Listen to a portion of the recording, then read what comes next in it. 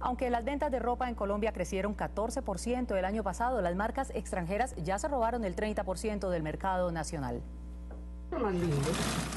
Así como su máquina de coser, Luz Elena es de las pocas modistas de Medellín que aún sobrevive a la invasión de ropa extranjera que ocupa el mercado local. Todavía tengo parte de mi clientela con la que me inicié. La quiero mucho también porque imagínense, toda una vida me han mantenido como se dice. Esta mujer compite con un universo de moda nacional y extranjera que suma 150 mil productos diferentes y 8.500 marcas y tal vez se mantiene porque las ventas de ropa han crecido. Llegamos a 14,8 billones de pesos, que significa casi el 4% del consumo de los hogares. Es una cifra récord.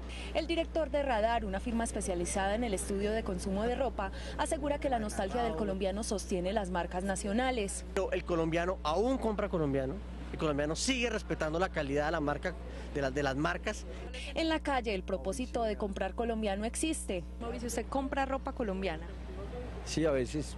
Pero este hombre, el mismo que dice comprar colombiano, usa hoy una camisa de Indonesia, unos zapatos de China, un pantalón argentino y una correa italiana, aunque la mayoría de sus prendas fue comprada en el país. Por eso la nostalgia de esta modista. Llegaron ya las mm, confesiones, llegaron la industria llegando de otra parte para acá, entonces hay ropa que llega tal vez más barata o algo así, porque tengo amigas que han dicho que se ha quedado sin trabajo. Para ella y los empresarios del país, el aumento del consumo de moda y la promesa de que las cosas mejoren al aplicarse el TLC con Estados Unidos parecen la salvación de un mercado de afuera que ya se llevó el 30% de la torta del mercado de ropa aquí.